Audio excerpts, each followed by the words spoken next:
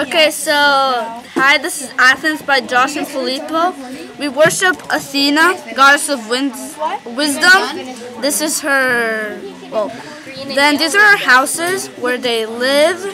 Then these are the shops where they trade and build stuff. Then that's a little shop, a little fountain. Then these are the crops. Um, Athens time period was in the 5th century BCE. Um, it was founded 3000 BC. These are crops. As I've, these are other people.